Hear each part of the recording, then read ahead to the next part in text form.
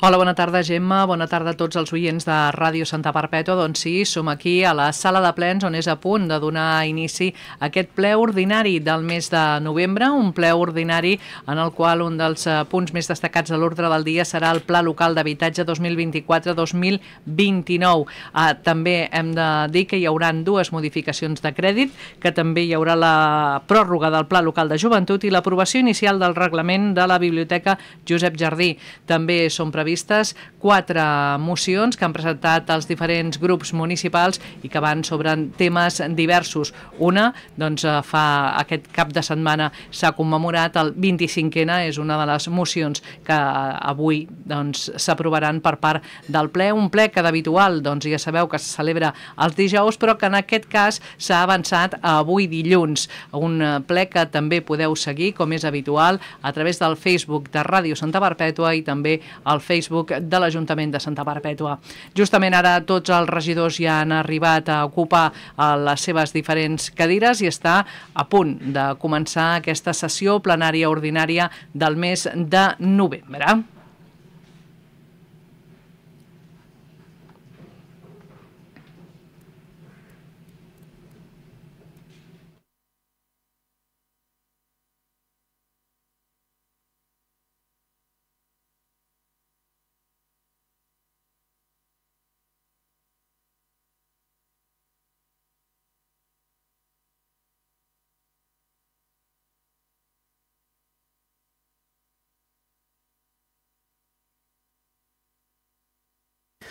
Molt bé, doncs molt bona tarda, benvinguts, benvingudes a totes les persones que esteu aquí a la sala de plens i a la ciutadania que ens escolta a través de diferents mitjans. En primer lloc, voldria excusar el senyor Jordi Navarro, que avui no pot estar present en aquest ple, i eh, començarem, abans de donar compte de l'ordre del dia, amb la, lectora, amb la lectura d'una declaració institucional de la Junta de Portaveus amb el suport dels grups municipals de Santa Perpètua en Comú, Esquerra Republicana i Partit dels Socialistes davant de l'escalada de violència a la franja de Gaza. Des de l'Ajuntament de Santa Perpètua de Mogoda volem tornar a mostrar la nostra gran preocupació sobre l'escalada de violència que s'està vivint aquestes darreres setmanes en relació al conflicte entre Israel i Palestina. Condemnem de manera ferma tota violència infringida contra la població civil i exigim l'alto al foc i el compliment del dret internacional humanitari, tal com reclamen les Nacions Unides i les organitzacions internacionals humanitàries. Des de la declaració de guerra d'Israel contra la franja de Gaza el passat 7 d'octubre, com a resposta als atemptats de Hamas contra Israel del mateix dia, més de 10.000 persones palestines han estat assassinades, el 68% de les quals són infants, dones i gent gran. Dades del Ministeri de Salut de Salut Palestí i l'Oficina de les Nacions Unides per la Coordinació d'Assumptes Humanitaris. I gairebé també 1.400 persones israelianes i estrangeres han estat assassinades a Israel, la gran majoria el mateix dia 7 d'octubre. Els atacs també han afectat persones que estaven treballant a la franja de Gaza. Des del començament de l'ofensiva han mort 195 professionals sanitaris, 99 treballadors de l'Agència de la ONU per als Refugiats Palestins i 47 periodistes. La franja de Gaza està vivint una gran catàstrofe humanitària que no fa més que agreujar-se. Els atacs per part d'Israel han afectat els serveis bàsics que no poden satisfer les necessitats bàsiques de la població civil de la zona. Segons OCHA, al nord de Gaza solament està operatiu un dels hospitals de la ciutat de Gaza, a 14 de novembre. Segons l'OMS, a partir del 14 de novembre, més de la meitat dels hospitals de Gaza, 22 de 36, no funcionen per manca de combustible, material sanitari essencial, danys, atacs i inseguretat.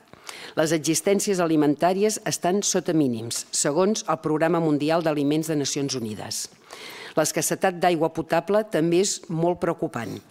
Tots els pous municipals d'aigua estan tancats a causa de la manca de combustible. El subministrament d'aigua des d'Israel està tancat des del 8 d'octubre i l'aigua que arriba des de Rafah ha disminuït un 50%. Finalment, Gaza viu sota una apagada general d'electricitat des de l'11 d'octubre, després que Israel interrompés el subministrament d'energia i combustible i prohibís l'entrada de combustible per qualsevol altra via. Pel que fa a l'entrada d'ajuda humanitària a la zona, la situació també és altament alarmant.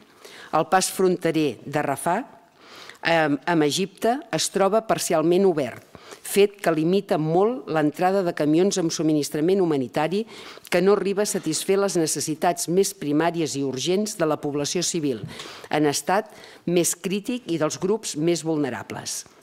La manca de corredors humanitaris segurs impossibilita que l'ajuda pugui arribar a la població afectada. Davant d'aquest context, creiem que els governs locals han d'esdevenir actors de pau i tenen un paper clau en l'àmbit de les relacions internacionals i la cooperació. Per aquest motiu, des del municipalisme solidari reclamem un alto al foc immediat per part de l'Estat d'Israel que aturi els atacs a la població civil indefensa tant a la franja de Gaza com a l'interior de Cisjordània l'obertura de corredors humanitaris per tal que l'ajuda en forma d'aliments, aigua, assistència sanitària, combustible, pugui arribar a les persones que ho necessiten. El compliment del dret internacional violat constantment amb atacs a camps de persones refugiades, hospitals i escoles que es fan servir de refugi per a les persones civils del territori. L'alliberament de tots els hostatges per part de Hamas l'embargament d'armes, tal com demana el Consell Català de Foment de la Pau de la Generalitat de Catalunya i una negociació basada en el diàleg, ja que en paraules del secretari general de les Nacions Unides, només una pau acordada entre les parts podrà portar l'estabilitat al territori i acabar amb una crisi humanitària que ja fa dècades que dura. Santa Perpètua de Mogoda, 27 de novembre de 2023. Feta la lectura d'aquesta declaració, passem a la part resolutiva d'aquest ple amb els punts d'alcaldia, que és l'aprovació de l'acte de la sessió ordinària número 13 barra 2023. Alguna qüestió respecte a l'acte? Doncs la donem per aprovada. Passem a la Comissió Informativa d'Organització i Serveis Generals i el primer punt de l'ordre del dia és l'aprovació de l'expedient de modificació de crèdit número 39 barra 2023. Té la paraula el ponent.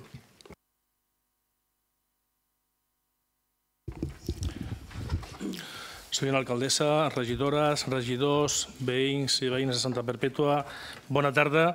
La modificació 39 i la modificació 40 que va a continuació, dos punts diferents. La modificació 39 fa referència a la concertació, en aquest cas, ajust de quadre financer per la concertació d'una operació de crèdit per finançar inversions, inversions parcialment per import de 243.000 dels 400.000 previstos al quadre d'inversions de la construcció del camí del CUAP, el camí destinat a l'entrada a l'accés de serveis públics al nou CUAP que s'està finalitzant a, lo que era abans el, els, els espais del, de l'antic recinte firal, per una banda, 243.000 dels 400.000 euros previstos al quadre financer i 956.000 finançar també 956.000 dels eh, 1.500.000 previstos al quadre financer per l'adquisició de nous contenidors, de contenidors, perdó, de nous contenidors per la, pel nou sistema de recollida de residus sòlids que començarem a posar en marxa a partir de la primera part del, mm, de l'any 2024. Total, és una modificació de 1.200.000 euros. Gràcies, regidor. Paraules? No? Doncs passem al punt aprovació. Vots en contra? Abstencions?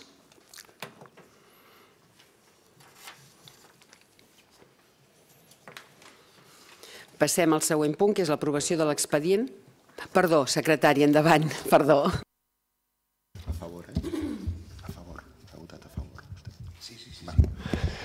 Eh, el, la proposta ha resultat aprovada amb els vots a favor dels grups municipals de Santa Perpètua en Comú, Esquerra Republicana i Vox i l'abstenció dels grups municipals del Partit dels Socialistes de Catalunya, Grup Popular i Ciutadans. Ara sí, passem al següent punt, que és l'aprovació de l'expedient de modificació de crèdit número 40 barra 2023. Endavant.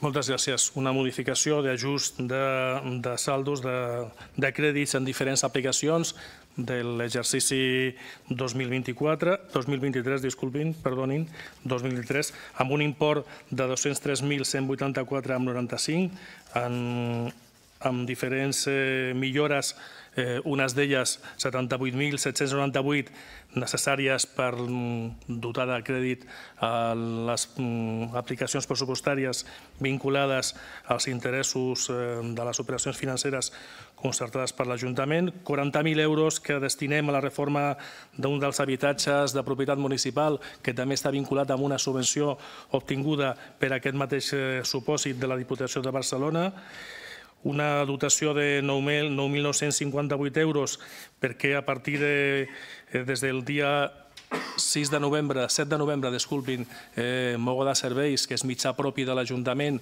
eh, farà la gestió dels serveis de consergeria al camp de futbol.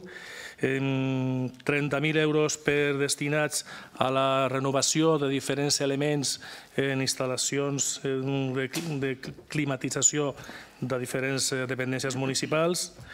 25.000 euros també pel mateix supòsit també en diferents eh, dependències municipals i 4.000 euros, resumida, per millorar la dotació fins a final de l'exercici destinada a la, grua, a la grua municipal. En total, amb baixes, baixes i, i altes, 203.184,95. Molt bé, gràcies. Alguna qüestió respecte a aquest punt? No? Doncs passem a votació. Vots en contra? Abstencions?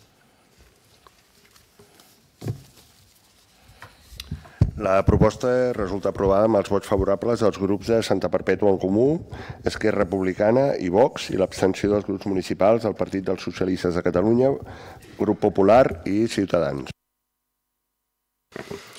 Molt bé, doncs passem a la Comissió Informativa d'Organització i Serveis... En...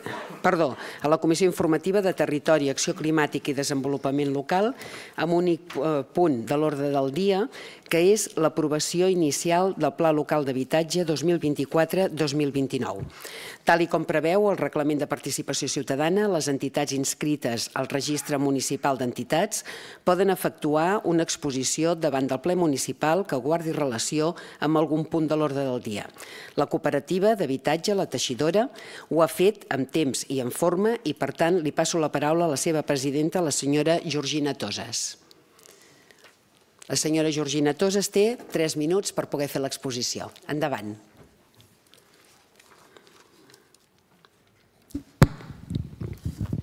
Val, gràcies, bona tarda. Um, perdoneu, però llegiré perquè no, bueno, no m'ho he pres de memòria. Bé, som la Teixidora, estem uns quants aquí, uh, una entitat del poble formada per 10 unitats de convivència de Santa Perpètua, que treballem per crear habitatge cooperatiu en sessió d'ús al poble des de fa ben bé més d'un any i mig i ho fem acompanyats per la cooperativa de sostre cívic i també per l'Ateneu Cooperatiu del Vallès Occidental. Estem creant xarxa per poder fer possible aquesta idea al poble. Abans que res, eh, recordaré una mica què entenem per habitatge cooperatiu en sessió d'ús, que molts d'aquí suposo que sabreu, però potser d'altres no. El cooperativisme en sessió d'ús proposa una nova manera d'entendre l'habitatge que potencia el dret d'ús i evita l'especulació eh, els projectes existents a Catalunya han decidit que la transmissió del dret d'ús, en el cas que una unitat de convivència vulgui abandonar l'habitatge, la regula la pròpia cooperativa. D'aquesta manera, eh, no es pot obtenir un preu de mercat, sinó el preu que permet la recuperació de la inversió inicial i les millores pactades introduïdes, introduïdes a l'habitatge. Això vol dir que evita l'especulació i, i evita vendre per sobre de, del valor d'aquest habitatge. Però bé, avui no hem vingut aquí a parlar de l'habitatge en general, eh, sinó, com bé ha dit l'alcaldessa, estem aquí per aprovar, perquè aproveu el pla local d'habitatge i des de la teixidora estem preocupades perquè, malgrat la disposició de col·laborar de les tècniques d'aquesta casa, amb les quals hem parlat, i malgrat fa uns mesos sentir alguns regidors dirigir-nos bones paraules cap al projecte, hem vist que només hi ha una petita referència al model d'habitatge cooperatiu eh, en, aquest, en aquesta versió que hem tingut accés accés i, i, i només hem vist una pàgina en total on es parla d'aquesta oportunitat i no s'esmenta res més. Eh, si realment volem transformar el model d'habitatge Santa Perpètua i ser un poble referent, us demaneu que aposteu més per projectes com el que plantegem nosaltres i que aprofiteu aquesta oportunitat de, de plantar una llavor del canvi cap a un model de no especulatiu. Un model al mateix temps que és sostenible ecològicament i aposta per posar la vida al centre, com és el que nosaltres proposem. I Avui lamentem que no sigui una aposta valenta i decidida, cosa que sí passa en altres municipis. Si us fixeu, a Sant Cugat, Palau Solità i Plegamans, Caldes de Montbui, Granollers, molts ajuntaments del Vallès ja estan treballant en aquests tipus de projectes i aquí no. I, i no només aquí al Vallès, Barcelona, Olesa, Palamós, eh, són molt els pobles de Catalunya. I així doncs, veiem que és un model que és, un, que és una realitat i representa una oportunitat. Tots sabem que Santa Perpètua té un greu problema amb l'oferta d'habitatge i els preus de lloguers són desmesurats i l'única opció que ens queda és marxar del municipi com estan fent moltes joves i famílies que s'estan construint. Nosaltres volem seguir aquí i, i fer del poble un lloc on sigui possible una altra manera de viure i conviure. I ja per tancar, eh, us demanem que, si us plau, eh, ens feu servir com a crosa, és a dir, com una punta de llança, com, com un embrió per engegar aquest tipus de projectes de Santa Perpètua. Són famílies treballadores amb, però amb certa capacitat econòmica que podem contribuir per crear habitatge cooperatiu i estendre un model alternatiu. Però sabem que soles no podem. Necessitem de l'administració, us necessitem a vosaltres. Per tant, us pregunto en nom del grup, eh, aprofitareu l'oportunitat que se us presenta per transformar el model d'habitatge al poble? I aquí acabo. Gràcies per escoltar-me. Moltíssimes gràcies a tu. Moltíssimes gràcies, Georgina. Ara tots els portaveus dels grups municipals teniu un, dos minuts de temps per aquells que vulguin intervenir. Algun portaveu vol intervenir? Uh, regidor, Sergi, vols intervenir? Si no hi ha cap tipus de paraula, sí que procediria a, a contestar els companys i companyes. Uh, bé, jo uh, he de dir que personalment i en nom del govern, de l'anterior govern, de l'anterior govern, no? en el seu moment ja vaig traslladar que era una molt bona notícia que sorgís al Santa Perpètua una experiència sota, sota, aquesta, sota aquesta grup de, de persones i de famílies que voleu emprendre no? un, un nou model. Jo eh, em subscric a totes i cadascuna de les paraules que heu, que heu fet. De fet, hem tingut alguna, alguna reunió tant a nivell polític al final, a la finalització del mandat i a posterior també a nivell, a nivell tècnic. Eh, com deia, mm, personalment crec que, que és una experiència que, que no només pot portar a enriquir no? el, el, tot el teixit d'accions que avui aprovarem al nou pla local d'habitatge i per tant és una molt bona notícia que hi hagin persones i famílies que, puguin, que estiguin disposades a, a planificar nous models i a generar la, la xarxa suficient al municipi com per a, impulsar aquestes, aquestes experiències. Dit això, eh, eh, per una banda, eh, crec que eh, ha sigut, ha sigut eh, una llàstima que, que l'inici de funcionament de la tegidora segurament hagi, hagi anat eh, eh, molt acompanyat, el, o sigui, a posterior no, de, de, de l'inici de redacció del pla, perquè penso que, penso que si l'entitat hagués estat constituïda, eh, per sort, no, uns mesos previs a que, a que l'Ajuntament ja comencés a fer la redacció del pla, segurament eh, el conjunt de persones que formeu l'entitat poguéssiu, haguéssiu tingut l'oportunitat d'enriquir una mica segurament més al, més al pla i per tant definir-lo més. Dit això, eh, jo mm, m'agradaria explicar també l'històric no, en promocions de, de, de, de certs sectors de l'habitatge a Santa Perpètua, eh, que a Santa Perpètua ja hem tingut la bona experiència de promoció d'habitatge i de promocions eh, eh, en, en model cooperatiu, no per sessió d'ús, però sí que hem tingut alguna experiència en importants sectors de, de, Can, de Can Folguera a l'hora de desenvolupar promocions eh, en règim a, a partir directament de cooperatives i que malauradament el 2019 eh, una experiència similar eh, bueno, eh, no, va, no va prosperar perquè malauradament no es van aconseguir els cooperativistes necessaris. En tot cas, eh, coincideixo i coincidim, coincidim eh, totalment amb vosaltres de que el camí és, és, és difícil que, que ens necessitem per tal d'impulsar experiències com la vostra i que, per tant, eh, com ja us vaig dir i com hem estat a disposició de, de, de reunir-nos i de parlar amb vosaltres, eh, estarem eh, predisposats i, i ens oferim per tal de, de, de continuar caminant per, per explorar aquest, aquest model que, que proposeu. Eh, M'agradaria també Regidor, fer una... perdó, hauries de continuar sí, amb l'altre punt. Uh, només aclarir que avui fem una aprovació inicial uh, i que entenent que aquest decalatge entorn a aquest que poguéssiu, hagueu tingut l'oportunitat de portar o enriquir amb més profunditat el pla local, eh, podem treballar per tal de fer les correccions oportunes durant l'exposició del pla i si ens trobem en disposició i cerquem eh, qüestions que siguin interessants d'afegir, pues, eh, sense cap tipus de problema. Gràcies. Moltes gràcies, regidor. I ara sí que passem al punt pròpiament de l'ordre del dia, que és l'aprovació inicial del Pla Local d'Habitatge 2024-2029. Té la paraula el regidor. Endavant. Doncs moltes gràcies de nou, alcaldessa, i bona tarda a tota la ciutadania present i que ens escolta per mitjans. Bona tarda també als treballadors i treballadores municipals i a tots els regidors i regidores de la corporació. Avui proposem l'aprovació inicial del Pla Local d'Habitatge per donar forma oficial a l'anàlisi, estratègia i recursos municipals que es destinen i destinaran per lluitar pel el dret a l'habitatge digne de la ciutadania de Santa Perpètua. Avui donarem forma oficial a una estratègia d'intervenció que vam iniciar el mandat 2019 per desenvolupar les polítiques urbanístiques i socials relacionades amb l'habitatge, donat que el 2019 el marc competencial de l'habitatge a Catalunya s'ha desenvolupat en noves lleis relacionades a la protecció del dret a l'habitatge i reconeix als ajuntaments la potestat de desenvolupar polítiques que ens han permès intervenir al mercat des de la regulació dels preus de lloguer eh, com la protecció de la ciutadania davant dels grans tenidors intervencions des de diferents àmbits que poden, eh, com a mínim, plantar cara i generar una perspectiva de millora a la crítica situació del, del problema de país com és la crisi de l'habitatge. Ara mateix estem arrossegant i patint les conseqüències d'un dèficit de política d'habitatge tant a Catalunya com a l'Estat. Problemàtiques tant per accedir com per a mantenir l'habitatge en un mercat desbocat on les administracions han permès que bancs i especuladors immobiliaris es facin rics, amb un dret tan essencial per les persones com és viure sota uns sostre i un habitatge digne.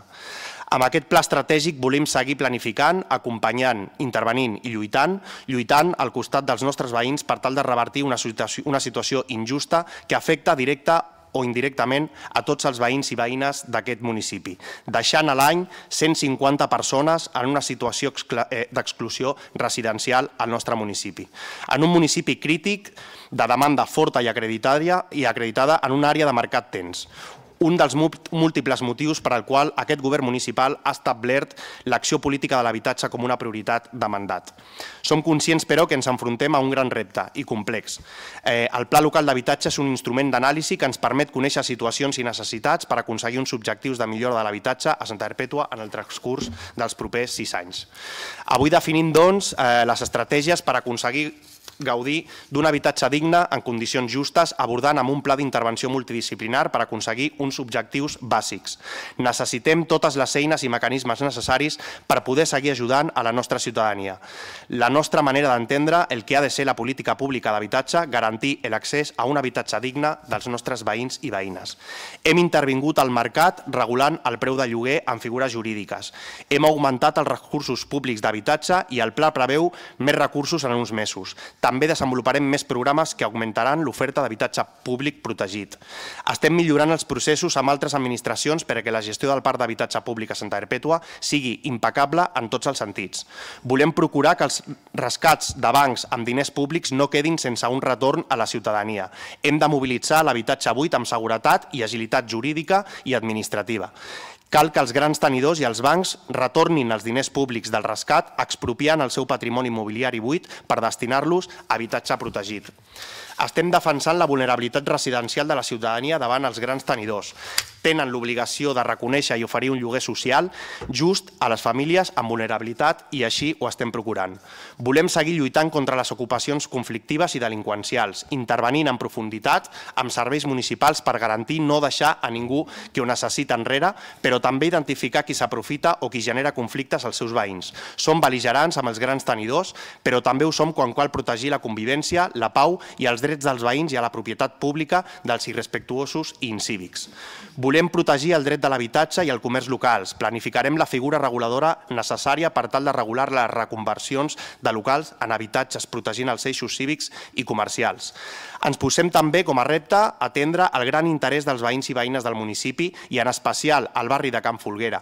Volem millorar l'estat de conservació dels nostres barris per evitar la seva degradació i ajudar la ciutadania a rehabilitar, eliminar les barreres arquitectòniques i a promoure la instal·lació d'ascensors. Aquests són, en gran trets, els objectius polítics del pla local, que amb moltes aportacions polítiques, tècniques, com de la ciutadania que ha participat als diferents espais de participació, hem estructurat en quatre eixos de treball. S'han definit nou línies d'objectius específics i 45 eh, fitxes d'actuacions. Tot i que el pla entrarà previsiblement en vigència el 2024, defineix una estratègia política que es va iniciar el 2019 per donar continuïtat a moltes accions anteriors d'anteriors governs locals que situen a Santa Perpètua en unes situacions envejables en molts aspectes i poc comunes en molts sentits respecte a moltes ciutats i localitats, com disposar d'un percentatge elevat d'habitatge públic i protegit per sobre de la mitjana catalana i estatal, tenir reserves del 50% per habitatge regulat en sectors de construcció o haver desenvolupat promocions a través d'habitatge cooperatiu. Vull també, abans de demanar el vot al plenari, reconèixer la complexitat d'elaboració d'aquest pla, també de la seva transcendència i importància per les problemàtiques eh, que pretén resoldre resoldre, i vull agrair la professionalitat a totes les eh, persones que han treballat en ocasions a contrarrellotge, en especial a tot l'equip d'habitatge i la seva CAP, als treballadors i treballadores de tots els serveis municipals que s'han implicat, per suposat també a la Diputació de Barcelona, també a tots els regidors i regidores de l'anterior equip de govern, on vam dedicar moltes sessions a discutir també a diferents eh, grups eh, de l'anterior i actual oposició, amb les quals amb alguns hem tingut moltes reunions de treball. Gràcies. Volem sobretot agrair a tota la ciutadania que ha participat en la redacció del pla, però sobretot a la que pateix les problemàtiques que amb aquest instrument pretenem combatre. Garantir drets, donar estabilitat i reorientar el conjunt de polítiques perquè puguem abordar les problemàtiques d'habitatge de manera preventiva i no pal·liativa. Són per aquestes raons que demanem el seu vot favorable per aprovar el Pla Local d'Habitatge de Santa Perpètua. Moltes gràcies. Moltes gràcies, regidor. Passem paraules. Senyor Kevin Romero. Té la paraula el senyor Kevin Romero. Gracias, alcaldesa, y gracias al ponente por, por la exposición. Durante estos últimos años hemos tenido la, oportunidad de reunirnos en, varias ocasiones, el, concejal y, este, y yo mismo, eh, para abordar distintos temas eh, relacionados con la, vivienda en el municipio, donde hemos podido compartir pues, impresiones y, datos del estado del parque de, vivienda en el municipio, ocupaciones, algunas herramientas jurídicas y, la viabilidad o no para poder utilizarlas y diversos temas eh, relacionados con la, con la vivienda. También participó mi grupo lo hice yo personalmente en, aquella jornada de participación eh, política eh, para la elaboración de, este plan. Y aunque siempre coincidimos en la, en la, detección del problema y en el análisis de la situación, no siempre lo hacemos en las, en las estrategias o en las líneas de actuación. Sobre este plan, de, sobre este plan local de vivienda, eh, pues hemos podido constatar y hemos podido poner números y cifras a lo que ya veníamos, a lo que ya veníamos viendo. Primero, un envejecimiento de la, población y una pérdida de personas entre 20 y 39 años. Lo comentaba la Teixidora hace un rato y, no es la primera vez que yo lo digo también aquí. La, mayoría de mis amigos y conocidos han tenido que independizarse fuera del municipio, no porque no quieran vivir aquí, sino porque no han encontrado otra, otra opción que marcharse. Constatamos también en este, en este plan que en Santa Perpetua hay una oferta de alquiler por debajo de la, de la media, tanto a nivel comarcal como a nivel autonómico. Un 12% de las viviendas del municipio son en régimen de alquiler y creemos que es en parte también por culpa de esa sobreintromisión de la Administración que empuja a muchos propietarios a retirar sus inmuebles del mercado de alquiler debido a esa inseguridad jurídica que nos traen las últimas leyes de vivienda aprobadas y que en lugar de, fomentar el alquiler lo que hacen es directamente aniquilarlo. Resumiendo sobre, sobre el diagnóstico, el plan habla de todavía más demanda de vivienda para emancipación juvenil en los próximos años y también en cuanto a, gente mayor por el avance de esa pirámide eh, que, poblacional que comentaba hace, hace un momento. Habla también de posibles problemas en la rehabilitación de viviendas, aunque también hace referencia a que tenemos un, un parque en muy buenas condiciones en general y habla del potencial de Canfilúa que la verdad es que tampoco hace falta ser un lince para, para ver que tenemos allí eh, muchas, muchas posibilidades para, para, construir vivienda. Sobre el plan y esos cuatro ejes con las distintas eh, medidas, las ha comentado usted algunas por encima, algunas las compartimos y nos parecen, y nos parecen buenas medidas, ya discutidas con anterioridad eh, aquí, como la de incrementar el recibo del IBI a, a, aquellas viviendas que se encuentran vacías de manera permanente, con el fin de invitar al propietario a que bueno, pues a que, las, a que las saquen al mercado, o la continuación de los planes de mantenimiento y rehabilitación de viviendas, especialmente las de, las de o el impulso también de la rehabilitación energética de viviendas con fondos europeos en, en este caso, muy importante también para mejorar esa, esa, eficiencia, ese ahorro energético de los hogares más, más antiguos.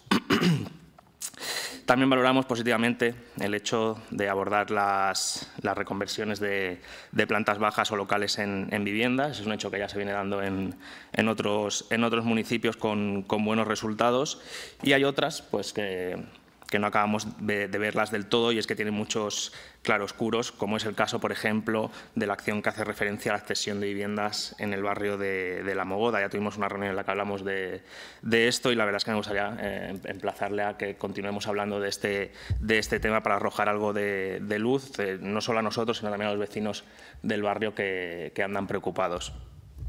Y para creer, para acabar, eh, creemos también que este ayuntamiento que maneja grandes recursos económicos, debería ser valiente y, y teniendo la capacidad de aprovechar el potencial de Canfilúa que comenta este plan, aprovecharlo, eh, aprovechar esa cotitularidad de algunas parcelas del barrio y promover y desarrollar vivienda en, en el suelo disponible. Y, y, en este aspecto creemos que este plan pues, se queda corto y que desgraciadamente no conseguirá, no conseguirá su propósito pese a las buenas intenciones.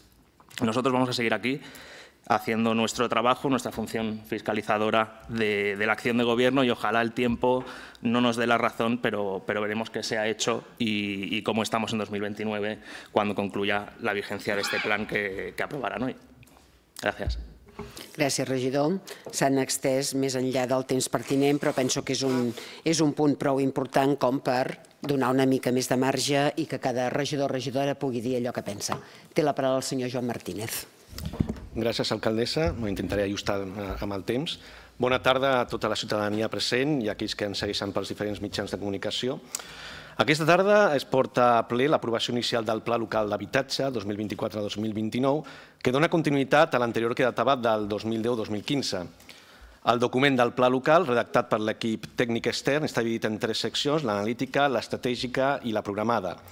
El document que es presenta, exposició pública, és prou interessant per les dades estadístiques que aporta, referents històrics recents, moviments demogràfics, el parc d'habitatges. En, definitiva, ens explica d'on venim per saber a on hem d'anar. Ens traça nou línies estratègiques d'acció vinculades a 45 accions ben desenvolupades en general i no oblida cap col·lectiu vulnerable, també està vinculat amb els diferents plans, com poden ser el de jovent, el pla LGTBI+, o el de salut, inclús el de cooperativisme, que abans comentaven, bueno, potser faltava de desenvolupar més. És un pla local que es va començar a desenvolupar la legislatura passada, com ben apuntat, i que ara se'ns presenta.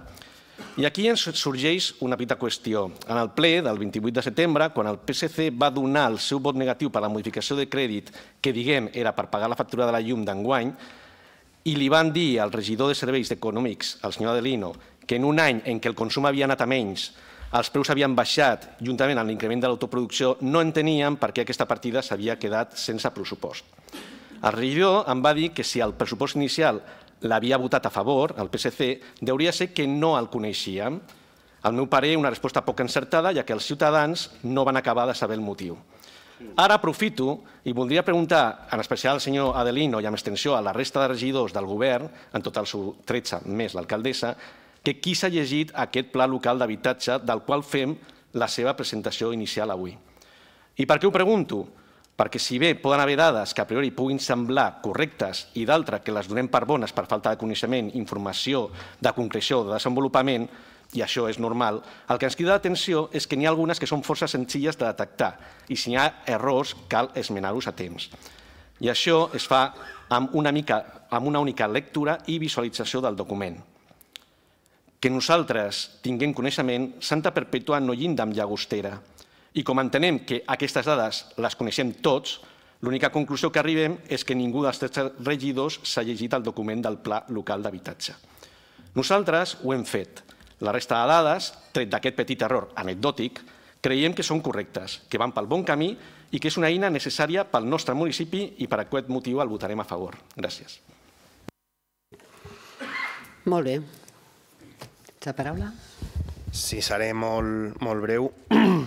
Senyor Romero, um, no, no m'esperava estar en total acord respecte a la lectura del pla. És cert que hem treballat en moltes ocasions, hem tingut moltes reunions i, per tant, entenc que les discrepàncies eh, que vostè planteja avui no són, no són de noves, les hem discutit eh, moltes vegades. Només faltaria que el grup de Ciutadans i de, i de Comuns, en aquest cas, no? I, i per extensió els meus companys d'equip de govern, estigués d'acord amb, amb l'anàlisi del, del mercat de l'habitatge, però en tot cas, eh, com vostè diu, moltes de les estratègies i moltes de les línies sí que, sí que les compartim i, per tant, eh, eh, he de dir que el pla també recull aportacions i, i bueno, correccions o millores que vostè va poder, qualsevol grup va poder, va poder aportar i per tant molt content de, de, de d'haver-ho treballat. Uh, dir que, uh, malgrat que puguem estar d'acord en moltes qüestions, uh, no tingui cap dubte que el pla estratègic uh, el, el que defineix és una intervenció, no? uh, cosa que a vostè no li agrada del tot, però una intervenció eh, dura no? de l'administració pública entorn a les polítiques transversals de l'habitatge, inclou també la regulació del mercat i, per tant, uh, si treballem amb indicadors hem de dir que uh, en el moment que l'Ajuntament ha començat a desplegar el marc normatiu que, que, li, que li permet o el reconeix la llei, els indicadors d'habitatge Santa Perpètua han millorat i, per tant, creiem que la intervenció administrativa i pública és una qüestió que és molt positiva per tal de millorar la situació de, l'habitatge. Respecte a la menció que de, diu del, sector de Can, de Can Filua, el desenvolupament urbanístic és una qüestió molt, molt difícil, no és d'aquesta legislatura, portem eh, molts anys intentant desenvolupar el sector. L'Ajuntament eh, estem fent tots els esforços possibles per tal de poder començar les promocions, eh, no depèn només de nosaltres, sabem sabem que és complicat, però, però esperem que, que així sigui. Um, I pel que fa als companys del, del PSC, eh, senyor Joan, uh, agraeixo molt la intervenció que, que ha fet el, el seu grup municipal. Uh, de fet, eren coneixedors en profunditat del pla local i he de dir que el, els, els errors que hagin pogut rasgar o detectar són exactament els mateixos perquè tenen exactament el mateix document que van presentar quan vostès formaven part de l'equip de govern i per tant jo i tots els regidors ens hem llegit en profunditat el pla, això jo personalment, no, no només els regidors, eh, jo també ho he fet en diverses ocasions, els equips tècnics de l'Ajuntament que han estat redactors també ho han llegit i no ho hem vist. Però en tot cas, si vostè ha detectat algun error, alguna qüestió, eh, ens ho hagués pogut dir també abans de, de, de fer tràmit de l'expedient. Per tant, eh, li prego que em faciliti on ha detectat vostè aquesta, aquesta, aquest error per tal de poder fer la modificació del, del text mentre duri eh, el document en exposició. Gràcies. Per al·lusions passo la paraula al senyor Delina Macías. Moltes gràcies. Sí, és obvi, no és Llagostera, és la Llagosta. És el municipi d'aquí al costat. És, és una... Moltes gràcies per l'apreciació i això és bona senyal. Eh, ha fet una lectura eh, somera del document, magnífic.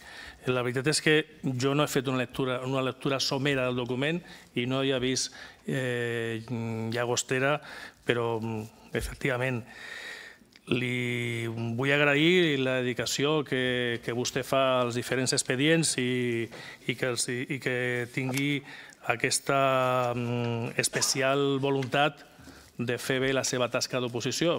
És fantàstic. Crec que és això ens ajuda a tots. Moltes gràcies. Molt bé, doncs passem al punt aprovació. Vots en contra? Abstencions?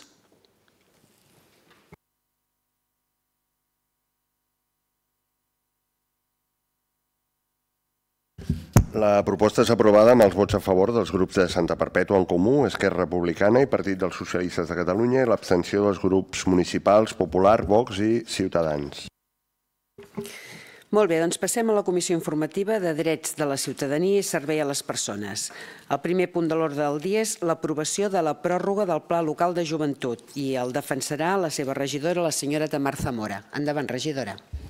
Bona tarda, gràcies alcaldessa, regidors, regidores i moltes gràcies també a la ciutadania que ens escolta present en aquest ple o a través dels nostres mitjans municipals. Avui, com deia l'alcaldessa, us presentem la pròrroga del Pla Local de Joventut. Aquest pla es va desenvolupar per als anys 2022 i 2023 i per elaborar aquest pla es va estudiar les necessitats dels joves i les joves de Santa Perpètua i la veritat que és el quart que tenim a la ciutat. La llei de joventut aprovada l'any 2010 defineix la joventut a partir dels anys 16 eh, en endavant, fins als 29. Però aquest pla local va voler avançar l'edat d'actuació fins als 12 anys. Per què? Doncs per poder fer polítiques d'atenció a les joves, però també de prevenció, perquè aquesta adolescència que comença a encaminar-se cap a la joventut tingués a l'abast totes les eines necessàries per créixer amb totes les necessitats el més cobertes possibles. Aquest pla va néixer en època postpandèmica, un moment clau on les joves com a col·lectiu vulnerable vam sofrir una sacsejada greu en les nostres vides. Inestabilitat laboral, evidentment econòmica i, per desgràcia, també emocional. És per això que aquest pla va centrar-se en unes actuacions molt concretes. Donar resposta formativa als joves, facilitar processos de transició cap al món del treball, incidir en la salut dels i les joves pel que fa a les conductes de de risc, com pel que fa també a intervenir sobre les conseqüències en salut mental i emocional i també seguir promovent la participació dels i les joves a través d'una oferta de lleure d'oci i cultura adaptada als seus interessos. Aquest pla travessa i incideix en tot el que afecta als i les joves i ens ha permès desenvolupar accions que encara són funcionals i viables per a les joves del municipi. Us dono algunes dades. S'han assolit el 84% dels objectius globals que ens marcàvem amb el Pla Local de Joventut, consolidant i impulsant les regidories d'adolescència, eh, d'infància i joventut en programes amb una gran trajectòria, programes com les intervencions a les escoles, al medi obert, als centres de secundària o programes que porten ja molts anys amb nosaltres altres com la promotora o el Punt Jove i altres de nous com el programa d'acompanyament emocional o el d'emancipació i joves vulnerables. Aquest pla, més, ens ha permès treballar de manera transversal amb la resta de departaments de l'Ajuntament com educació, serveis socials, comunicació, cultura, igualtat, salut, participació i acció veïnal, esports o desenvolupament local. Però, si em permetreu, voldria destacar un dels projectes que més s'ha consolidat per la seva importància social i per la seva acció amb els i les joves i pel moment en el que es va posar en marxa. Un moment, com us deia, abans d'incertesa social i d'inestabilitat emocional per moltes de les joves del municipi. Parlo del programa d'acompanyament emocional, un programa que es consolida i que a més passa de 25 hores a 35 hores, un programa que entre el 2022 i el 2023 va atendre a 85 joves d'entre 12 i 22 anys de Santa Perpètua. D'aquestes 85 persones, el 80% eren dones. Una dada que ens parla clarament del rostre que té la salut mental, del viatge de gènere i de les problemàtiques que tenen les dones en un sistema patriarcal que ens invisibilitza i ens infrarepresenta un viatge fruit d'un sistema patriarcal injust. D'una altra banda, també cal destacar que l'any 2023 un 58% de les participants forma part del col·lectiu LGTBIQ+, dada que ens mostra la possible vulnerabilitat en la qual s'exposa la gent que forma part del col·lectiu i la seva conseqüent disminució en el seu benestar emocional. Hem de dir també que els temes que més demanen els i les joves tractar amb la professional, amb l'Anna, són sobretot personals, acadèmics, familiars i socials, temes com la gestió emocional, l'autoestima, estratègies d'estudi, d'habilitats socials, entre d'altres. Com veieu, la situació de vulnerabilitat dels i les joves que va deixar de manifest la pandèmia encara és real i encara s'ha d'actuar. Aquest pla ha demostrat que hi ha accions que funcionen, que s'han de mantenir i que s'han de buscar noves fórmules i noves polítiques públiques que posin les seves necessitats al centre. És per això que us demanem l'aprovació d'aquesta pròrroga. Creiem que aquest pla encara ens permet fer accions de millora de la vida dels adolescents i de les joves del municipi i que ens permetrà més cercar totes les eines possibles per començar a analitzar i detectar noves necessitats de cara a elaborar un nou pla l'any 2024.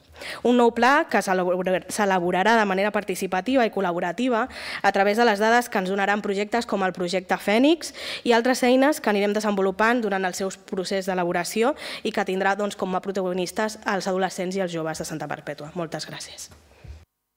Moltes gràcies, regidora. Paraules? No? Doncs el passem a votació. Vots, vots en contra? Abstencions?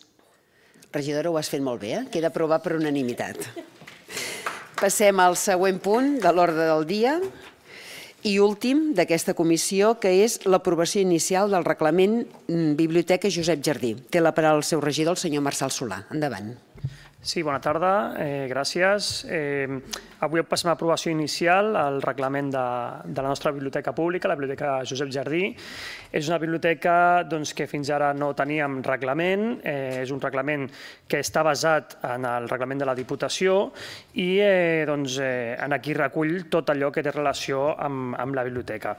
Eh, la comissió redactora la, ha estat formada pels serveis jurídics, també per la direcció de la biblioteca, el cap del servei i validat per la Diputació i m'agradaria doncs, agrair a totes les persones que han format part de l'elaboració d'aquest eh, document eh, que, creiem, que creiem que serà molt, molt, molt beneficiós doncs, per, per aquest servei tan important per nosaltres. A més a més, doncs, també s'ha realitzat un, un procés de, de consulta pública.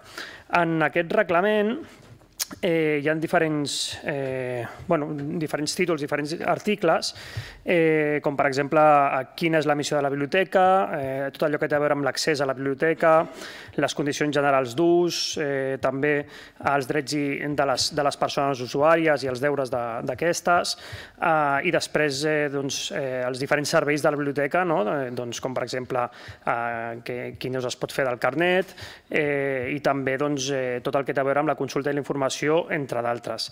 Eh, és un document que crec que és molt interessant i que s'adequa molt eh, a la realitat d'aquest equipament però m'agradaria mm, destacar el primer article que està dins de les disposicions generals, l'article 1, que és la missió de la biblioteca, que crec que reflexa molt bé el, el que vol dir aquest document i al final el, el que ha de ser o el que és eh, la nostra biblioteca, la Biblioteca Josep Jardí.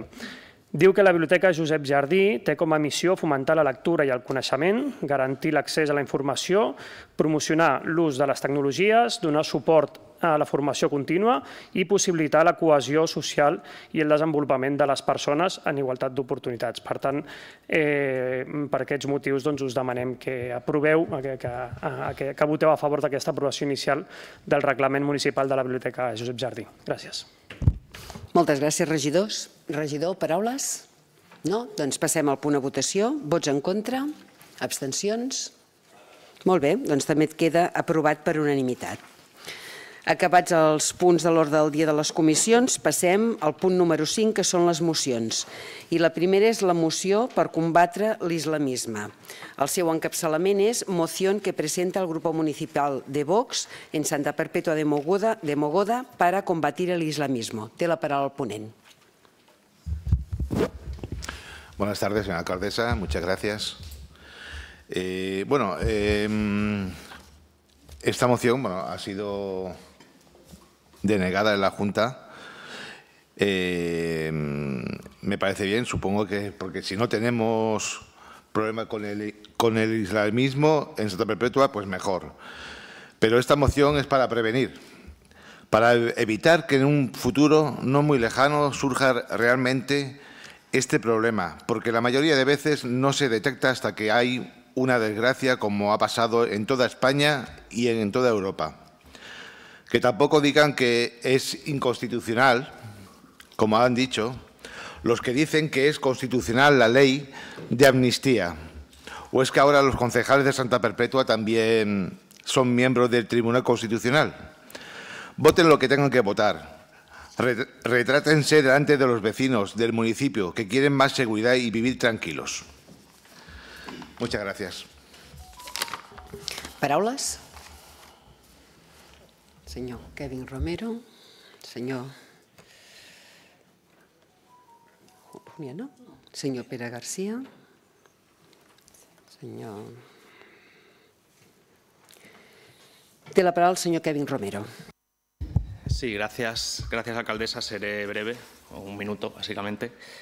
Eh, yo, yo, creo que, o sea, creo que como, como, como, cargos públicos tenemos una responsabilidad social eh, y, creo que el texto que, ha presentado Vox en este, en este caso, a mi entender, es irresponsable porque estigmatiza a una parte de, a una parte de nuestros vecinos por su origen o por, o por sus creencias religiosas y, y, creo que es muy irresponsable por parte de, pues por parte de un cargo público eh, presentar este, este tipo de textos. Eh, después, si, si, si, si, aterrizamos en las propuestas concretas de, del, del, texto que presentaste, Santiago, o sea, es que no, no, puedo estar de acuerdo con prácticamente ninguno de los puntos. O sea, en, el, en el punto segundo das a entender que el ayuntamiento y que la policía local no colabora con la Policía Nacional. En el punto 4 eh, pides eliminar ayudas a, personas que las necesitan por su origen. En el punto 5, eh, una ordenanza para los centros de culto, como si, como si, no hubiese ordenanzas ya en el municipio que regulasen eh, que los establecimientos públicos cumplan todas las normativas. En definitiva, creo que es una, creo que es una moción muy superficial y muy, y muy irresponsable a la par y por eso no, no la apoyaremos. Té la paraula el senyor Pere García. Gràcies, alcaldessa. Bona tarda a tothom. Miri, senyor Santiago, no perderé gaire temps a explicar el nostre vot, perquè la seva moció barreja conceptes com, per exemple, l'islamisme amb terrorisme. Aprofito per dir-los, per si no ho sabien, que l'islamisme és una religió i que vostès aprofiten per ficar en aquesta moció, que suposo que era en contra del terrorisme, a tots els immigrants que venen al nostre país fugint de conflictes bèl·lics o simplement millorar la seva qualitat de vida. Amb aquesta moció intenten amagar una postura totalment xenòfoba que tant identifica el seu partit. El nostre vot serà en contra. Gràcies, regidor. Té la paraula el senyor Sergi Garcia. Gràcies, alcaldessa. És evident que aquesta moció és un intent cínic i simplista de, cap de capitalitzar l'odi i la por de la gent. Culpar indiscriminadament la immigració i estigmatitzar col·lectius sencers és promoure la restricció de llibertats i els drets fonamentals. Senyor Delgado, que li quedi clar, la multiculturalitat és la nostra riquesa, no un problema. La insinuació de que totes les persones immigrants són potencials terroristes és no només una falsa, sinó també una perillosa, un perillós comentari. Eliminar ajudes públiques i subvencions a ONGs que treballen amb immigrants és una mesura cruel i sense empatia envers aquelles persones que busquen refugi i una vida millor. I per tot això votarem en contra, perquè no permetrem que l'extrema dreta marqui les polítiques municipals, perquè la nostra resposta sempre estarà basada en la justícia social, la solidaritat i el respecte dels drets humans. Afirmacions com la seva i del seu partit busquen posar en perill els principis democràtics i la seguretat del nostre país però no ho aconseguirà. I per cert, si vostè assistís al Consell Municipal de Seguretat, sabria que la policia local està constantment formant-se i treballant dia sí i dia també per la cohesió social i la seguretat ciutadana. Gràcies. Té la paraula el senyor Delino Macías.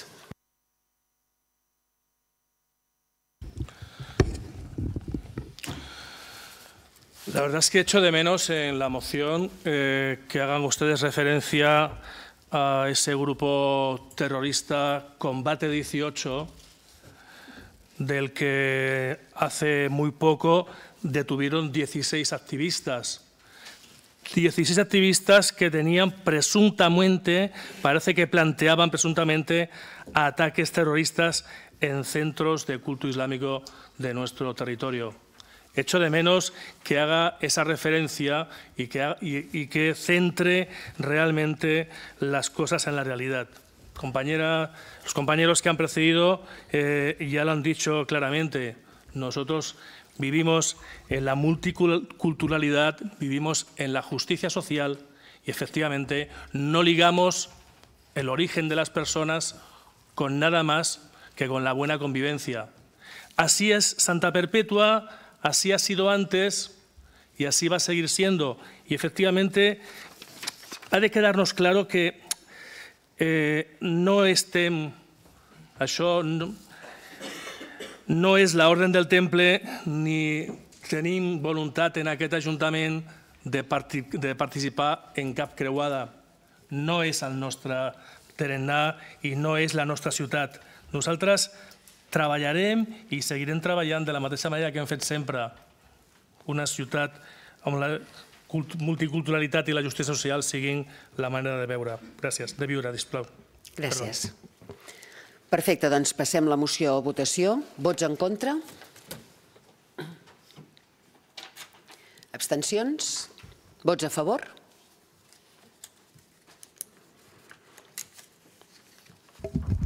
La proposta, la moció és, ha estat rebutjada en haver obtingut el vot favorable del grup de Vox i els vots en contra dels grups municipals de Santa Perpètua en Comú, que és Republicana de Catalunya, Partit dels Socialistes de Catalunya, Grup Popular i Ciutadans.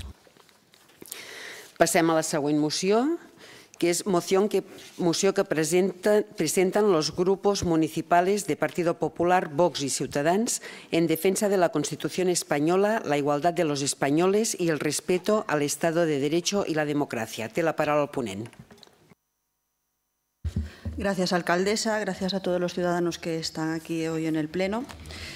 Hoy defendemos en esta moción que presentamos tanto el Grupo Grupo Municipal Popular como el Grupo Municipal de Ciudadanos, la Constitución, la igualdad entre españoles, el Estado de Derecho y, en definitiva, la democracia. Estas últimas semanas hemos visto cómo de desamparado ha quedado nuestro Estado de Derecho ante la cesión que Pedro Sánchez y el Partido Socialista van a hacer al separatismo, ante la inminente aprobación de una ley que amnistiará a los líderes separatistas del proceso y que reescribirá la historia de nuestro país al dictado de lo que dieron en el golpe de Estado en el 2017. Este ataque frontal a nuestra Constitución, perpetrado desde el Poder Ejecutivo, utilizando el legislativo para debilitar y maniatar al judicial, es un hecho sin precedentes en la historia democrática de nuestro país. Europa nos señala y ya nos situamos en la altura de países como Hungría y Polonia, donde el Estado de Derecho también está en peligro. Nosotros hoy aquí presentamos este texto para defender la Constitución del 78, que defiende los derechos y libertades de todos los españoles, así como la separación de poderes y la igualdad entre ciudadanos. Nos sumamos así a la denuncia de todas las asociaciones civiles, profesionales y judiciales Mostramos nuestro rechazo a la concesión de privilegios y nuestra repulsa a cualquier ley de amnistía que dinamite la convivencia en nuestro país y cree, ciudadanos de primera y de segunda en función de si son necesarios para el Partido Socialista, gobierne o no. Gracias. Paraules? Té la paraula el senyor Santiago Delgado. Muchas gracias, alcaldesa. Bueno, yo quería preguntarles a los señores del Partido Popular, a señora del Partido Popular y señor Romero de Ciudadanos, ¿de qué parte están? ¿De la, ¿Del lado de legal o del lado ilegal, como está el PSC y compañía? Eh, Yo quería enseñarles, bueno, eh, yo sé que ellos estuvieron, estuvieron eh, en contra también de, en contra de, una declaración que yo hice de la amnistía. Eh, no entiendo por qué fue el motivo de, esta, de, esta, de esta situación de estar en contra de algo que es ilegal y ustedes estuvieron más bien al lado del, del Partido Socialista. Yo entiendo que ustedes, bueno, yo quiero enseñar esta foto de ciudadanos eh, del, del Ayuntamiento de Santa Coloma de Gramanet. Están gobernando con el Partido Socialista Catalán. Eh, Senyor Delgado, se li ha acabat el temps, però a més a més és que em sap greu perquè vostè està increpant a dos membres, a dos partits d'aquest consistori que li han donat suport amb aquesta moció, que no tenen dret a paraula perquè li han donat suport i en canvi no ens ha explicat de què va la moció. Per tant, bueno, se li ha acabat el temps. A veure, moción que presentan los grupos municipales del Partido Popular, Vox sí. y Ciutadans en defensa de la Constitución española, sí, la igualdad de los derechos de los españoles, Correcto, el respeto. señora alcaldesa, yo di a favor de, este, de esta, de esta Pero moción. tanto el señor Romero como la señora Julia no pueden intervenir porque dan soporte a esta intervención y usted les está pidiendo explicaciones a ellos en lugar de explicarnos qué es No. lo que corresponde de verdad- qué va esta moción para que los que estamos aquí y las personas que nos siguen qué- puedan saber por de qué qué... por un lado eh, están a favor de una y por el otro no están a favor. Bueno, en todo caso se le ha terminado el tiempo. Nos Vale, hemos bueno, quedado pues- con las ganas, el público, de saber qué es lo que se va a aprobar esta noche aquí. En todo caso, eh, tienen la no tengo palabra. ningún, ningún derecho a una, una réplica contra ¿Contra quién? bueno contra una votación que se hizo en, en- en contra. No. A ver. A ver, por alusiones. No, sí. no, no, no, no voy a contestarle. Simplemente que por una cuestión de orden y en base al nuevo reglamento municipal, el grupo de Vox que suscribía la moción no tenía derecho a intervenir en est- en esta moción, igual que no he tenido derecho yo, porque ha hecho la defensa el Partido Popular. Entonces creo que el error viene de, de origen al haberle usted concedido la palabra Pues al tiene, señor pues Delgado. tiene usted toda la razón. Gracias. Tiene usted toda la razón. Le he dado la palabra cuando no le tocaba, señor Santiago, porque usted, usted eh, como suscribe la moción, en principio las personas que suscriben las mociones no tienen derecho a palabra. Usted ha levantado la mano y ha sido un error mío dársela. De todas maneras, repito, mm, me hubiera podido ahorrar, me hubiera podido ahorrar el darle la palabra porque tampoco no hemos entendido muy bien qué nos quería decir. De todas maneras, tienen la palabra el senyor Pere García. Endavant, regidor. Gràcies, alcaldessa. Miri, vostès es proclamen defensors únics de la Constitució. Eh? Una Constitució que vull recordar, ja els vaig recordar el dia de la Junta de Portaveus, que el PP va votar en contra. I parlen de, de, la, la problemàtica que crearà aquesta amnistia, que encara no ha sigut aprovada, i que els jutges ja van posar-se en contra sense conèixer el text. Si vostès respecten tant el Tribunal Constitucional i la Constitució, com diuen, per què no esperen que el Tribunal, emeti el Tribunal Constitucional emeti sentència al respecte i, de pas, aprofiten per desbloquejar la renovació del Consell General del Poder Judicial que porta 1.815 dies en funcions perquè vostès ho tenen bloquejat. En el pacte no es dona carta blanca al referèndum d'autodeterminació i en relació als 15.000 euros de condonació de deute no es tracta només d'una condonació a Catalunya, sinó que afecta a totes les autonomies. La Constitució no està amenaçada per l'amnistia, sinó pels grups de dreta i extrema dreta que no han pogut acceptar que Espanya va votar una majoria parlamentària que ha donat continuïtat a un govern progressista. El nostre vot serà en contra. Moltes gràcies, regidor, i passo la, la paraula a la senyora Laura Oliver. Endavant, regidora. Gràcies, alcaldessa, i bon vespre a tothom. Mirin, l'estat de dret és una eina de l'estat democràtic i respon a ell, no al revés. És curiós que no d'estranyar que la dreta i l'extrema dreta es preocupin per l'estat de dret per la llei d'amnistia, però no els hi preocupi l'estat de dret quan és patriòtic. No els hi preocupi quan es va apallissar catalans per votar, quan es retorça fins l'extrem el Codi Penal per imposar penes llarguíssimes a demòcrates, quan hi ha espionatges amb infiltracions policials o amb Pegasus, quan al portaveu del PP al Senat se li escapa que controlaran la sala de darrere del Tribunal Suprem, quan el Consell General del Poder Judicial porta cinc anys caducat, quan els jutges es posen en contra de la separació de poders abans que s'aprovin les lleis o quan els seus partits convoquen, aviven i participen en manifestacions on abunden simbologies nazis i franquistes. La llei d'amnistia corregeix un error democràtic que mai hauria d'haver passat i que significa la repressió judicial, policial i econòmica contra un moviment legítim, democràtic i viu, encara que els pesi. La llei d'amnistia implica un pas endavant per tornar a la política allò que mai hauria d'haver sortit de la política i avançar cap a la resolució política d'un conflicte que és polític i no judicial. La llei d'amnistia és tan necessària com imprescindible com democràtica. Per això votarem que no. Moltes gràcies, regidora. Passem la moció a votació. Vots en contra? Abstencions? Vots a favor?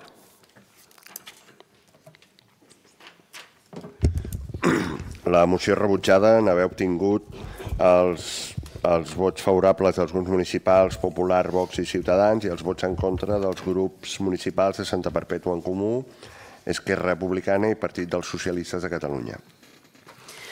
Molt bé, doncs passem a la següent moció que presenten els grups municipals de Santa Perpètua en Comú, Esquerra Republicana i Partit dels Socialistes per la commemoració del 25 de novembre, Dia Internacional per l'Erradicació de la Violència Masclista 2023. Té la paraula la regidora. Endavant. Moltes gràcies, alcaldessa. Bona tarda a totes. Malauradament, un any més eh, tenim per davant unes xifres escarrifoses. Enguany, a l'acabar aquesta presentació, eren 93.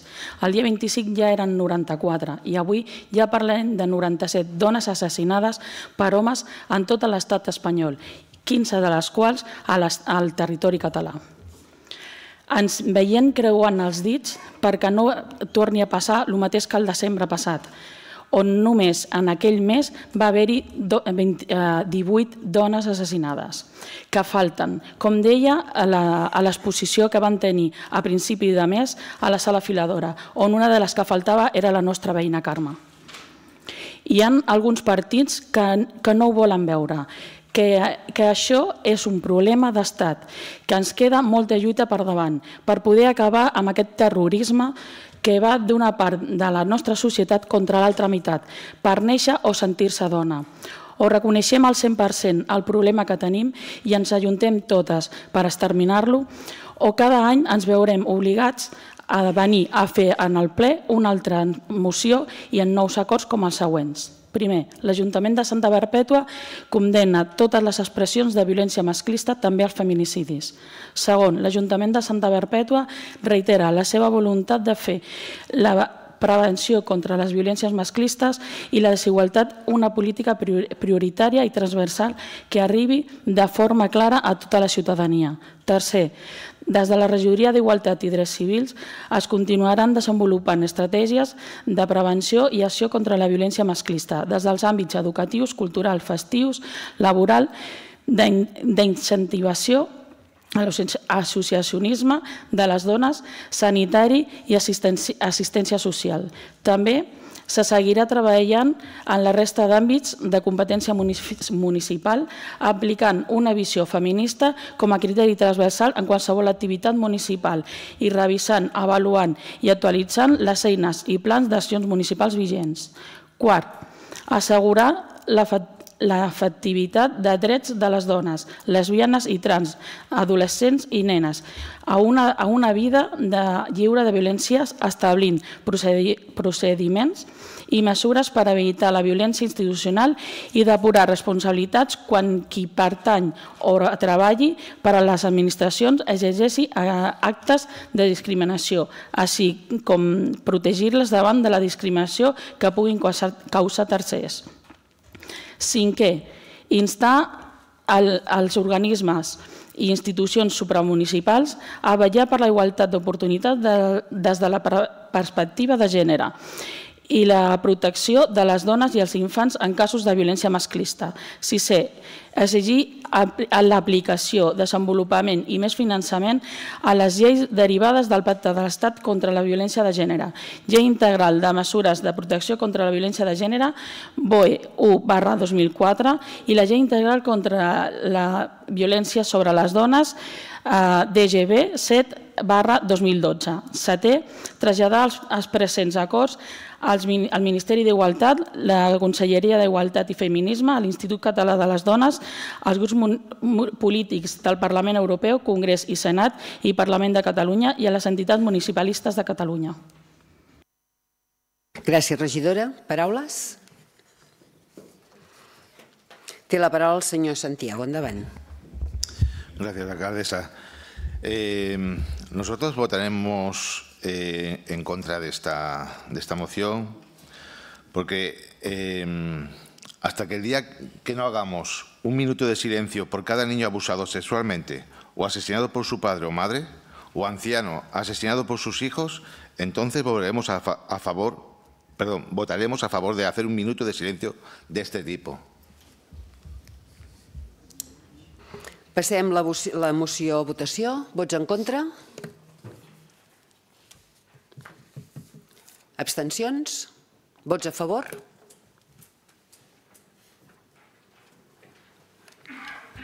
La moció és aprovada amb els vots favorables dels grups de Santa Perpètua en Comú, Esquerra Republicana, Partit dels Socialistes de Catalunya, Grup Popular i, i el grup de Ciutadans i el vot en contra del grup municipal de Vox. Molt bé, presentem la moció que presenten els grups municipals de Santa Perpètua en Comú, Partit dels Socialistes i Ciutadans, en contra del tancament de qualsevol residència de la gent gran. Té la paraula el ponent. Gràcies, alcaldessa. Aquest mes de novembre s'ha anunciat el tancament de la residència de gent gran de Reus, l'única de titularitat pública de tota la comarca del Baix Camp. Aquesta afecta, a més a més, a un centenar de persones que estan en les llistes d'espera. La decisió de tancar un servei que forma part del paquet de drets sobre els quals se sosté l'estat de benestar al nostre país és un atemptat més en contra d'un col·lectiu de persones vulnerables. Una altra ofensiva d'un govern de la Generalitat de Catalunya que no té com a objectiu prioritzar la cura dels més grans i pretén privatitzar aquests serveis públics que no li interessa i empobrir encara més la seva població. Els fons Generation van donar l'oportunitat de la creació de noves places residencials, però el govern de la Generalitat va decidir prioritzar la rehabilitació d'espais per adequar a les noves normatives post-Covid. La Generalitat vol reubicar els seus usuaris i el personal dispersant-los en tot el territori. Les residències són el lloc on viuen les persones grans. És la seva llar. Les patologies que, patologies que moltes persones pateixen són incompatibles amb canvis d'espais, de lloc o de personal assistent. Cal mantenir-los junts pel benestar dels residents, pel seu equilibri emocional i per la seva salut. Nosaltres entenem que tenir una oferta de places en residències de la gent gran públic és necessari i imprescindible. Les residències públiques garanteixen la millor qualitat de servei. Hem d'anar a un augment de les places i residències i no podem admetre una reducció de les mateixes basant-se en uns informes que no apareixen. Per tot això ens neguem a romandre impassibles veient com es desmantelen els serveis pels quals la classe treballadora d'aquest país ha lluitat tant. Entenem que s'estan fent passos enrere i que hem de ser constants amb la lluita pel ple assoliment dels drets socials de la ciutadania. Instem també a que l'Ajuntament de Santa Perpètua, com a administració que ens el seu pla de mandat té com a objectiu la posada en marxa d'una residència per a la gent gran, es manifesti en contra de la mesura aplicada per la Generalitat i que actuï en conseqüència, proposant al ple de l'Ajuntament de Santa Perpètua de Moguda els següents acords. Primer, l'Ajuntament de Santa Perpètua de Moguda mostra el seu rebuig al tancament de qualsevol residència de gent gran pública a Catalunya. Segon, demanar un compromís al Departament de Drets Socials de la Generalitat per la creació de places per a la gent gran 100% públiques que dimensionen la necessitat territorial real. Tercer, que l'Ajuntament de Santa Perpètua demani a la Generalitat de Catalunya un calendari per a la creació de la nova residència que tant necessita el nostre municipi. I quart, traslladar aquests acords als diferents grups parlamentaris i a la mesa del Parlament de Catalunya per a que engeguin les accions necessàries, així com a les diferents organitzacions sindicals en representació a la MEPAG de la Generalitat de Catalunya, IAC, UGT i Comissions Obreres, i a les entitats municipalistes FMC, ACM i l'Ajuntament de Reus. Paraules? Senyora Laura Oliver. Moltes gràcies, alcaldessa. Esquerra està a favor de la creació de residències públiques i especialment a Santa Perpètua, però avui eh, hem de votar abstenció a la moció. En primer lloc perquè considerem que el ple de la Corporació de Santa Perpètua no és l'espai on debatre si una residència pública que no és de la nostra proximitat, tanca o no. Si bé és cert que lamentem que sigui així, el que es tanca és l'edifici, ja que l'informe tècnic estableix que hi ha un risc per la salut i integritat de les persones usuàries. Fins on sabem també, la Generalitat està en diàleg amb les famílies, sindicats i persones treballadores per reubicar les persones usuàries en bloc. I en segon lloc, votem abstenció perquè no estem d'acord amb la forma de la moció, però sí que volem clarificar que estem d'acord amb el fons polític, amb la necessitat de que hi hagi més residències públiques a Catalunya, que n'hi hagi una també a Santa Perpètua i per tant estem d'acord amb els acords d'aquesta moció però pel que he dit anteriorment votarem abstenció. Gràcies. Gràcies, regidora. Passem la moció a votació. Vots en contra? Abstencions? Vots a favor? La moció és aprovada amb els vots favorables dels grups municipals de Santa Perpètua en Comú, Partit dels Socialistes de Catalunya, Grup Popular, Grup de Vox i Grup de Ciutadans, i l'abstenció del grup municipal d'Esquerra Republicana. Doncs continuem amb el ple i passem a la part de control. D'alcaldia hi ha la presa de coneixement de decrets i acords de la Junta de Govern local. Alguna qüestió respecte a aquest punt? Doncs passem a la Comissió Informativa d'Organització i Serveis Generals, on donarem compte dels informes d'intervenció eh, que es fan de manera periòdica eh, i té la paraula el regidor, el senyor Delino Macías. Endavant, regidor. Gràcies novament, senyora alcaldessa. Són els informes eh, periòdics, eh, estabilitat, període mig de pagament, els, mm, els informes de fiscalització del 30, dels informes de l'informe 3061 al 3429 i la fiscalització amb objeccions, això és el que venim fent eh, de manera trimestral. En aquest cas fa referència a objeccions a quatre eh, expedients de, eh, de contracte menor. Alguna qüestió respecte a aquests temes? Doncs passem eh, al punt número 8, que són assumptes sobrevinguts. No n'hi ha cap. Passem a l'apartat punt número 9 de pregs. Algun prec a fer? Doncs passem al 10. Alguna pregunta? Té la paraula el senyor Joan Martínez. Endavant, regidor. Gràcies, a, gràcies alcaldessa. Bona tarda de nou. Bueno, al darrer ple del mes d'octubre vaig reclamar que es facilités un informe de control de plagues de paparres, que ja també vaig demanar el 20 de juliol, que se'm va discutir que s'havia enviat, un cop aclarit que aquest no havia estat rebut. Ara sí, he d'agrair no, que aquesta setmana, després de quatre mesos, he rebut contestació. No, també recordar no, que el ROM diu que abans del següent ple, però bueno, no, estem començant, donem aquesta treva. Eh, bueno, eh, jo esperava o esperàvem un informe, un informe que parlés de paparres en funció del que, bueno, que es va demanar en allà. Hem rebut un correu que bàsicament és el que ja va exposar molt bé la regidora de les tasques que fa amb tema de control de plagues al mateix mes de juliol, però van trobat a faltar una miqueta això del, de la part tècnica. No esperaven un pla local d'habitatge, no, no calia que fos tan extens, eh? però però un correu on s'exposa doncs, que, bueno, que vostè ja va exposar, l'hem trobat una miqueta curt, sobretot després d'aquesta espera de quatre mesos. Llavors, la pregunta que faria és si existeix aquest informe. Ja està. Gràcies. Molt bé, té la paraula la regidora. Endavant. Com bé li vas dir la setmana passada, quan ens van trobar cara a cara, hem tingut un problema a nivell tècnic, és que realment doncs, eh, quan es tenia que fer aquest eh, informe doncs, teníem a la, a la tècnica de, de baixa. Eh, S'ha fet la, el recull de tot el que es va fer eh, en aquell temps, que era el que creien que estaves preguntant. O sigui, se t'ha donat resposta al que demanaves. Si necessites alguna cosa més, més concreta, doncs eh, m'ho dius, m'envies un correu, quan reps aquesta, aquesta resposta, si veus que no, que no compleix exactament el que demanes, jo crec que t'hem donat resposta a tot el que demanaves, perquè a més eh, se t'explica eh, on es demana, o sigui, on ens havien cridat per tema de, de les paparres i demés i que van anar-hi a l'empresa i que no van trobar res, o sigui, tot això se t'explica en aquest eh, document, aquest informe, no sé com li, com li vols dir, però si vols alguna cosa més específica, eh, no sé, si vols dia i hora, ja això jo crec que has de venir ja al meu despatx i que t'ho expliqui. No sé exactament ara mateix el que, està, el que estàs demanant, però estem oberts al que necessitis. Perfecte. Molt. En pregs no, no hi ha retorn, ja em van renyar perquè a l'anterior vam fer, vam fer en preguntes, hi ha la pregunta i la resposta, però no hi ha segon torn.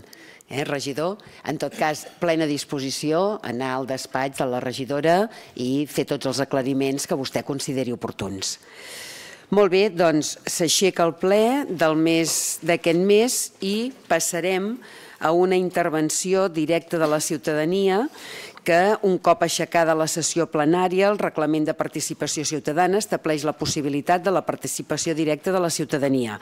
En aquesta ocasió ha estat registrada en temps i forma una pregunta per part d'una ciutadana i per formular la pregunta la ciutadana disposa d'un temps màxim d'un minut i li passo la paraula a la senyora Esther Brullet Homet perquè la formuli. Endavant. Bona tarda i moltes gràcies. El 23 de juny del 2023 es va aprovar per decret d'alcaldia el projecte bàsic i d'execució de millora de l'eficiència energètica del mercat municipal amb un pressupost de 768.424 euros. Aquest projecte proposa un mix comercial per ocupar totes les parades, les que estan ocupades, més les set buides. Per altra banda, en aquest projecte es reformen les cambres frigorífiques, climatització de la planta de venda, renovació de la instal·lació elèctrica i instal·lació fotovoltaica com a partides més importants importants. El mercat municipal va perdent clients. A més, al mes de juliol es va treure a concurs sis llicències temporals d'ús per sis places vacants, a les que no es va presentar ningú i el mes de setembre va quedar deserta la seva adjudicació. En vista de tot el que hem comentat, preguntem a la regidora de Comerç si hi ha algun pla de dinamització del mercat municipal que justifiqui aquesta inversió. Si existeix aquest pla, agrairíem que, la, que el presentés avui a la seva ciutadania i que n'expliqués el seu cost, ja que en la situació actual no veiem la viabilitat i la recuperació d'aquesta inversió. Moltes gràcies. Gràcies. Té la paraula la regidora. Endavant. Gràcies, alcaldessa. Molt bona tarda de nou. Moltíssimes gràcies, senyora Brullet, per venir al ple i utilitzar aquesta via per, per formular preguntes. Al juny van fer públic l'acord de govern que inclou 104 punts de mandat. Al 93 hi diu el següent. Reformarem el mercat municipal per tal d'adaptar les instal·lacions, promoure noves parades de comerç local i ubicar l'Oficina d'Atenció Ciutadana, l'OAC, i l'Oficina d'Habitatge i Rehabilitació, també l'OMIC. Efectivament, aquest és un compromís del govern actual i sí, és una inversió necessària, almenys si volem que el mercat municipal segueixi funcionant com a tal. Vostè feia referència a un decret de 23 de juny, que per cert és el número 1885. Aquest pla es va treballar com un pla de diagnosi general i es va aprofitar per sol·licitar una subvenció als fons Next Generations que desafortunadament no es van concedir. Al llarg dels últims mesos s'han confinançat conjuntament amb altres ensos diferents projectes per tal de tenir una diagnosi clara de la situació actual del mercat municipal emmarcada dins del context municipal però també de país. I per tant, si volem mantenir viu aquest espai comercial, cal treballar en un, un pla que inclogui inversió en l'espai, que no necessàriament és la que vostè ha citat, inversió en dinamització i el més important, la complicitat de tota la ciutadania. Quan parlem d'inversió, permeti'm dir-li que fem referència també a capital humà. Vostè, en la pregunta que formula, fa especialment referència al pla de dinamització. Com li comentava abans, sobre la taula tenim actualment diferents anàlisis i plans d'acció que afecten, interpel·len el comerç local en general ha algunes accions de les quals són dirigides al mercat municipal. Aquest pla d'accions sobre el comerç local s'està actualment treballant. Això significa que no està acabat i, per tant, no està aprovat pel govern actual. Però sí que li puc avançar quatre grans línies de treball que són la cooperació público-privada, la millora de competitivitat, l'entorn urbà i la conscienciació i, sobretot, la promoció. Aquest mateix pla inclourà un pla d'accions concreta pel mercat municipal sempre acordat amb els i les paradistes. Aprofito també per posar en relleu que l'equip tècnic està treballant des de fa mesos amb un nou conveni i reglament que permetrà als paradistes com a entitat poder aconseguir subvencions addicionals a diferents administracions i consorcis i per tant també ajudar en aquest pla de dinamització. Actualment, doncs, en aquest període obert entre legislatures i plans, li puc confirmar que se segueix amb el calendari estipulat per aquest 2023 amb les activitats consensuades amb els mateixos paradistes i que per, part de l'Ajuntament se segueix treballant perquè a la zona del mercat hi passin coses i se segueixi dinamitzant. Ara per Nadal i en col·laboració dels comerciants tindran llocs diferents activitats, les quals poden consultar el detall al web i els calendaris que trobaran aquí fora, però que igualment n'hi detallo algunes que tenen lloc a l'espai. L'1 de desembre hi ha l'entrega de cartes. El 2 de desembre, conte teatralitzat a la plaça del Mercat. Fins al 23 de desembre hi ha la gran panera de Nadal i el 4 de gener un taller de xapes nadalenques. Per altra banda, el primer semestre del 2024, l'OAC, l'OMIC i l'Oficina Local d'Habitatge que ocupen l'espai de l'antic dia obriran les seves portes i ajudaran a generar tràfic i esperem també conversió cap al mateix mercat. Només em queda dir-li que així que aquest pla de dinamització estigui aprovat i el pla d'inversions també no tindrem cap inconvenient en fer-ho públic i explicar-ho. Gràcies. Moltes gràcies, regidora. I una vegada respost, doncs, us donem les gràcies per la vostra assistència i us esperem al proper ple. Molt bona nit a tothom. Doncs justament ara acaba de finalitzar aquest ple, aquest ple de la corporació corresponent al mes de novembre en el que s'ha aprovat, eh, entre d'altres, eh, doncs, com a punt més destacat, el Pla Local d'Habitatge per eh, la, el, el període 2020 2024-2029. En aquest eh, punt, la cooperativa d'habitatge La Teixidora, la seva presidenta, ha utilitzat el recurs que dona el, el reglament de participació ciutadana per explicar el seu projecte i per fer doncs, una pregunta a l'Ajuntament que és que doncs, eh, si voldrà ajudar-los per aconseguir que habitatge cooperatiu en sessió d'ús formi part d'aquest pla d'habitatge. Un fet que el regidor d'habitatge, Sergi Hernández, ha dit que segur que aquesta experiència enriquirà l'habitatge i que ha, ha, ha, ha, explicat que era una llàstima que l'inici d'aquesta cooperativa de la tegidora fos posterior a la redacció del pla perquè s'hagués pogut segur enriquir més el document. De totes maneres, ha insistit que aquesta era una aprovació inicial i que, per tant, doncs, es podria eh, afegir doncs, més dades sobre aquesta possibilitat d'aquest tipus d'habitatge. El Pla Local d'Habitatge ens deixa clar que cada any hi ha 150 persones que es troben en situació crítica d'habitatge al nostre municipi. A més, recordem, són zona d'habitatge tens. Aquest pla defineix les estratègies per accedir l'accés a un habitatge digne. Amb aquest pla, un pla en el que es proposen quatre grans eixos de treball, el jurídic, l'urbanístic, el social i la gestió, i sota aquests eixos es despleguen nou línies estratègiques d'acció i 45 actuacions.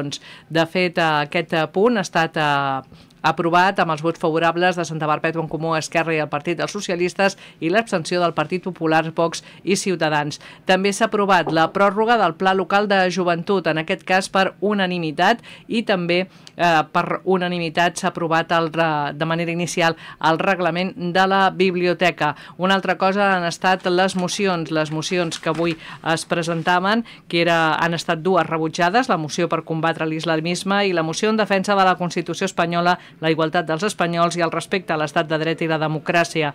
La moció per la commemoració del 25 de novembre, el Dia Internacional per l'Erradicació de la Violència Masclista, ha estat aprovada amb l'únic vot en contra de Vox i la moció sobre l'anunci del tancament de residències de gent gran ha obtingut l'abstenció d'Esquerra.